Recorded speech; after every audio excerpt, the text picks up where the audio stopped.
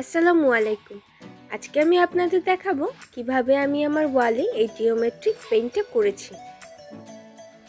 পেইন্টটা করতে আমি এখানে ফেব্রিক কালার ইউজ করেছি, যেগুলো নর্মালি দোকানে বিশ টাকা করে কিনতে পাওয়া যায়।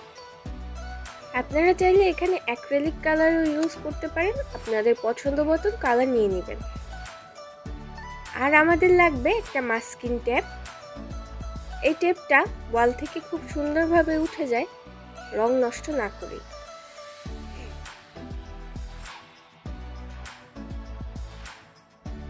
আমার এই ওয়ালটায় ফুল দিয়ে ডেকোরেশন করা ছিল, যার জন্য ওয়ালের এই বাজে অবস্থা হয়ে গেছে। আমি প্রথমে ওয়ালটাকে একটু পরিষ্কার করে, এরপরে মাস্কিন টেপ দিয়ে আমার পছন্দ মতন ত্রিভুজ, চতুর্ভুজের শেপ দিয়ে নিয়েছি। এরপর শুধু ফাঁকা জায়গাগুলোতে পছন্দ মতন রং দেওয়ার পালা।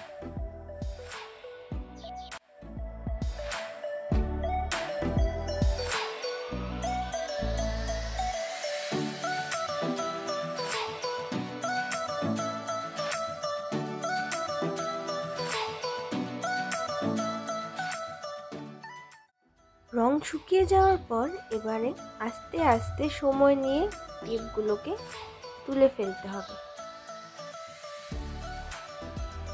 যেহেতু আমি ওয়ালের কিছুটা অংশ পেন্ট করেছি, তাই মাস্কিন টেপ লাগিয়ে আমি চারপাশে কালো রঙের একটি বর্ডার করে নিয়েছি। এত অল্প খরচে আমার রুমটাকে এত কালারফুল একটা লুক দিয়ে আমার তো বেশ লাগছে।